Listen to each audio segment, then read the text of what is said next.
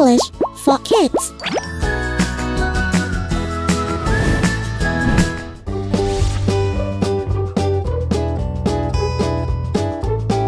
สวัสดีค่ะเด็กๆ วันนี้พี่เต่าทองจะพาเด็กๆ ไปเรียนรู้เกี่ยวกับการเขียนตัวอักษรภาษาอังกฤษกัน แล้วเด็กๆ อยากทราบไหมคะว่า พี่เต่าทองจะพาเด็กๆ ไปเขียนตัวอักษรตัวใด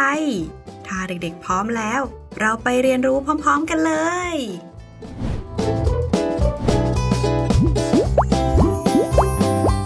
K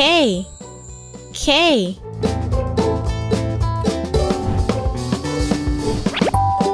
ต่อไปเรามาเขียนตัว K กันนะคะ เด็กๆลองเขียนตามดูนะคะ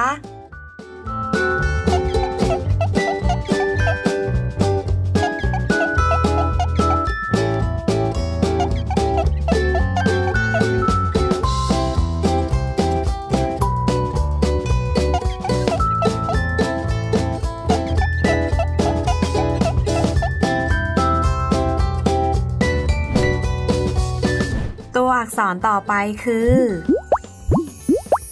L L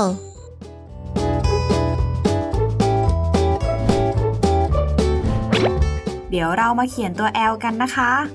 เด็กๆลองเขียนตามดูนะคะ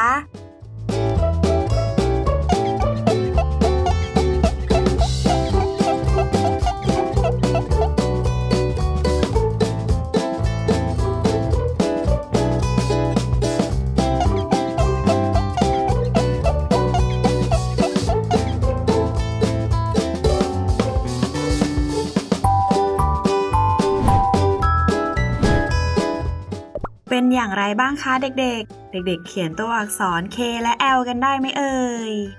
เด็กๆ เก่งมากๆ เลยค่ะ เด็กๆ อย่าลืมไปทบทวนการเขียนตัวอักษร K และ L กันด้วยนะคะ แล้วเจอกันใหม่ครั้งหน้านะคะเด็กๆ บ๊ายบาย